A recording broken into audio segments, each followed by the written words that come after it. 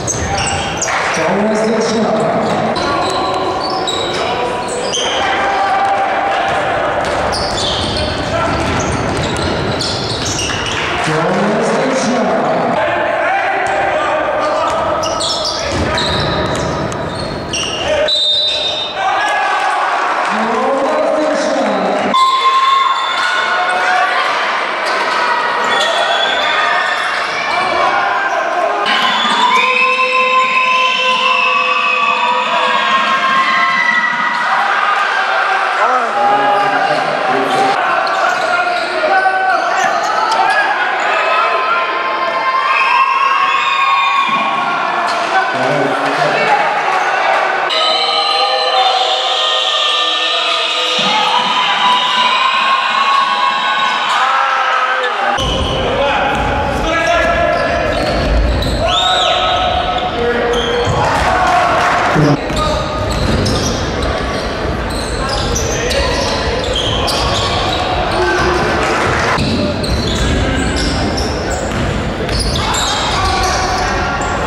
Ženklis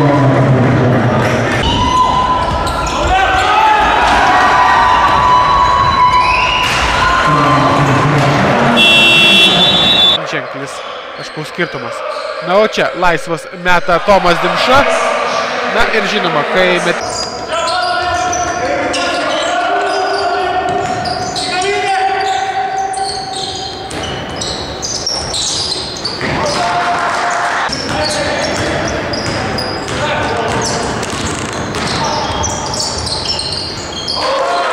Cool.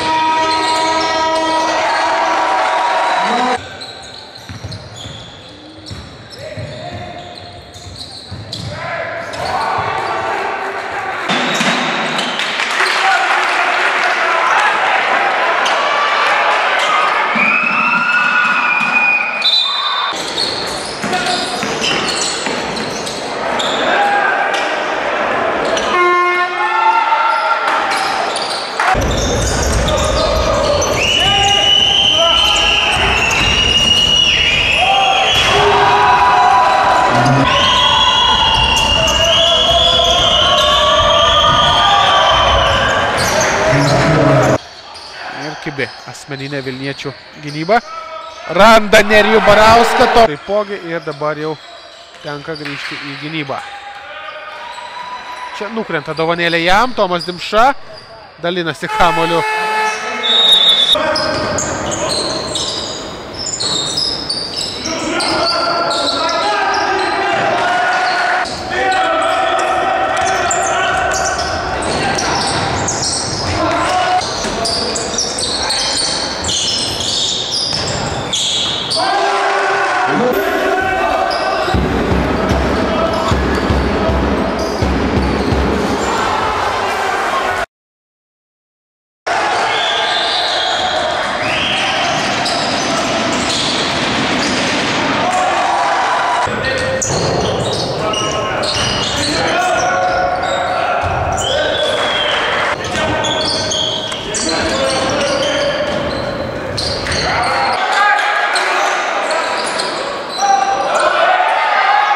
Nacionalinės krepšinio lygos e, lyderių Vilniaus statybos, o krepšininkus, o